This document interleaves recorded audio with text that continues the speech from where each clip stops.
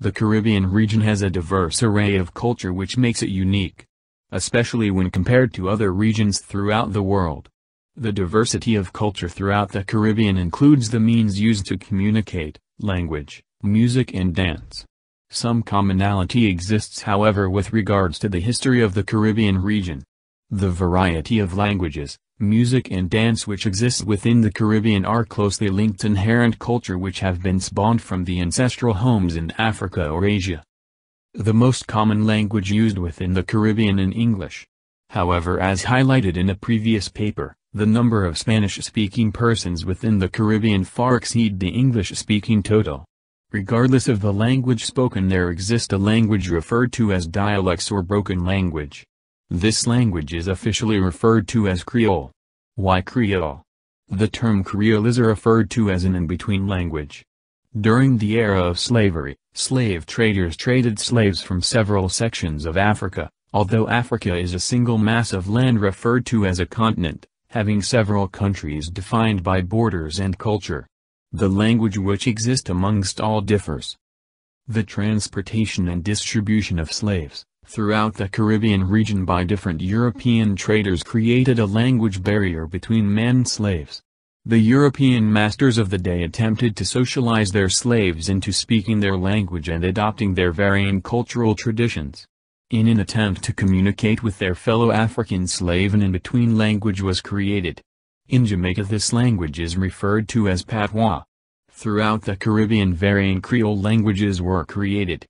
Thus the Caribbean region has a multi-language aesthetic which makes it unique.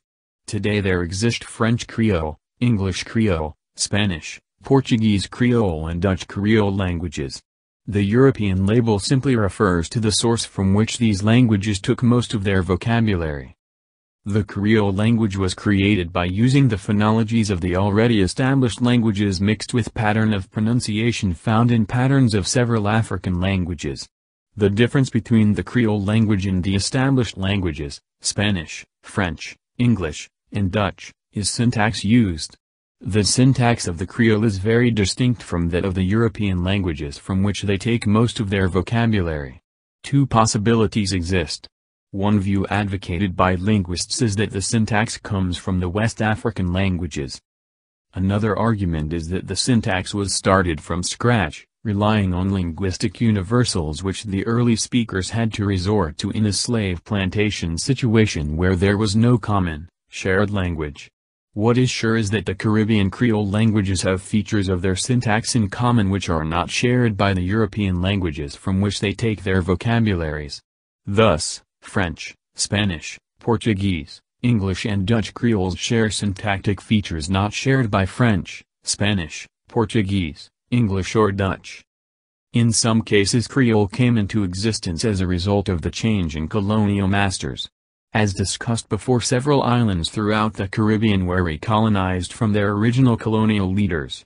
The change of language from Spanish to English facilitates a unique in-between language referred to as Creole.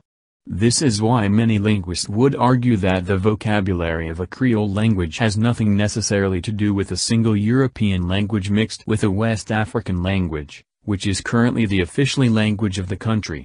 This explains the Creole languages of Suriname, that is Sranan, Djuka, and Saramaccan. Both Creole language have a vocabulary predominantly from English, even though the official language of Suriname is Dutch.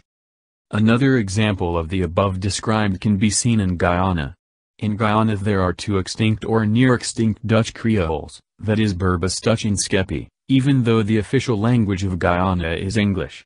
Guyana at one point in their history was ruled by the Netherlands, in Aruba, Bonaire, and Curacao, Papiamentu, a Spanish, Portuguese Creole is widely spoken in countries where Dutch is the official language.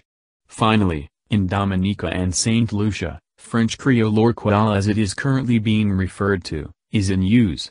This is the case even though these countries have English as their official language. Even in Grenada and Trinidad, there are small communities of French Creole speakers, even though these countries have had English as an official language for nearly two centuries. The above validate the argument that Creoles did not exist amongst slaves but amongst ancestral descendants in order to comprehend communication as colonial rule change. Throughout the Caribbean, the linguistic diversity of the islands is numerous. Some Creole language has become extinct while others are emerging. Scholars throughout the region regard the Creole as a part of indigenous cultures which have survived the impact of European colonization. Throughout the Caribbean there is an estimated 70 languages, sing languages, ritual languages, pidgins, and creoles based on the colonial languages, principally Spanish, English, French, Dutch, but also heavily influenced by African and indigenous languages. For centuries, the Caribbean has been one of the world's great linguistic laboratories. Throughout the Caribbean, the diversity of languages which exist represents languages throughout the world. To a great extent, the reality exists where there has been a linguistic genocide regarding the speaking of Creole throughout the region and the speaking of the indigenous language of the Caribbean. During the years of European colonization of the Caribbean, Many indigenous languages disappeared due to widespread physical elimination of the populations speaking these languages. During slavery, some slave masters prohibited the speaking of languages they did not know. As a result our ancestors adopted the language of their colonizers. Their language died. A language will not survive if the older generation does not use it with the younger generation. With the disappearance of domains within which indigenous languages would naturally be used, opportunities for cross-generational transmission disappeared. Every new generation is a link in the transmission of the languages of the community into which they are born. Each generation does this by naturally acquiring, through exposure, the knowledge and use of languages of the community within which they live. Language transmission in the Caribbean was a problem, as we shall see, even before the arrival of the Europeans in the late 15th century. However, this has been transformed into a crisis in the post-Columbus Caribbean. There has been a massive disappearance of languages previously in use. In effect, the European presence produced a huge deterioration in the conditions that existed for an estimated 300 years prior to European colonization of the West. European conquest in the Caribbean did not simply involve the introduction of European languages and the destruction of indigenous ones. Simultaneously with these two processes, a third was taking place. New languages, Creole languages, were being created. These produced a new linguistic diversity, partly coexisting with the old, partly replacing it. With the introduction of plantation agriculture by the European conquerors, new communities were assembled to produce plantation crops. The bulk of the plantation labor force was constituted from Africans, mainly West Africans, imported as slaves from their countries of origin. New languages, fit for the new communities assembled to operate in this new environment, were created and assumed to have been the case on early Caribbean plantations, manned by African slave labor assembled from various parts of West Africa and without a common language.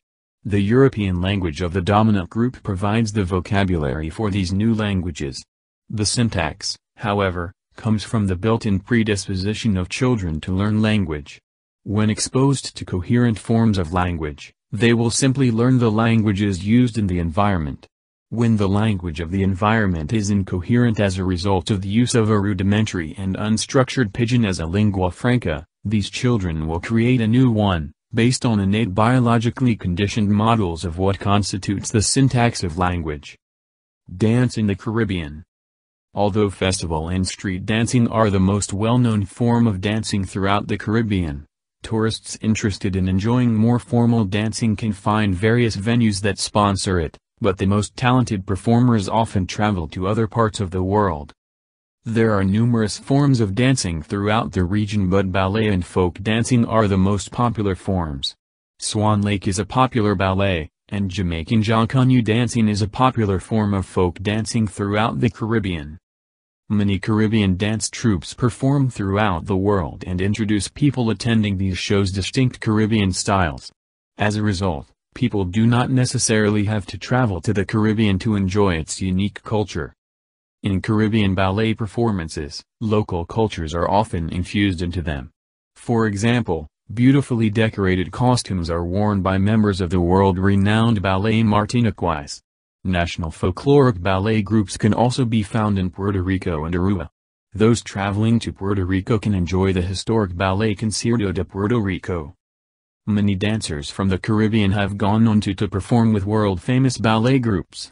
Alicia Alonso, one of Cuba's most famous ballerinas, had a brief stint dancing with New York ballet groups until going home to Cuba to be a part of the country's national ballet. Another Caribbean ballerina, Michelle Jimenez, is a part of the Washington Ballet. She is originally from the Dominican Republic. People from the Caribbean migrating to different parts of the world have brought their unique dance culture with them. For example, Toronto's Ballet Creole combines Caribbean and African styles to create a truly distinctive dance form. Local dances. Music can be heard wherever people congregate in the Caribbean. Distinctive musical styles can be found on each island, but each musical style is designed for dancing. Latin beats. Mambo dancing was a huge craze in Havana during the last decade and later became popular in Harlem. This dance style eventually was transformed into salsa dancing. Distinctive elements of Caribbean and African culture have been mixed in with salsa dancing, but it is still similar to mambo dancing. Merengue dancing originated from Haiti and the Dominican Republic. However, two separate stories exist about the dance's origins. According to one tale, a group of people began imitating an injured war veteran out of pity for him after he struggled to dance at a celebration. However, some people claim the dance originated from the slave plantations. While they were working in the sugar fields, slaves would slowly move their feet to a drum's beat as they walked across the plantations with heavy chains around their feet. Merengue dancing is very easy to learn. Because little space is required to perform the dance, people on crowded dance clubs can try it out. Bachata dancing is a mixture of bolero and merengue dancing. The rumba is a slow and sultry style of dancing where only a small dance floor is required. On the other hand, a more up-tempo form of dancing combing elements of the mambo and rumba is known as the cha-cha. French rhythms Zouk music and dance was inspired by Brazilian lambada but originated in the French-speaking areas of the Caribbean. This form of dance combined salsa, merengue, and reggae dance with a speedier beat. In fact, Translated from French Creole the word zouk means party. Beguine dancing is a slower version of the rumba originating in Martinique and Guadeloupe. Cole Porter wrote a song about beguine dancing that popularized it. Other dances practiced throughout the Caribbean which could be linked to our, African, inherent culture are listed below. Dinky Mini originates from the Congolese word ndini which means lamentation or funeral song. Dinkies are celebratory occasions.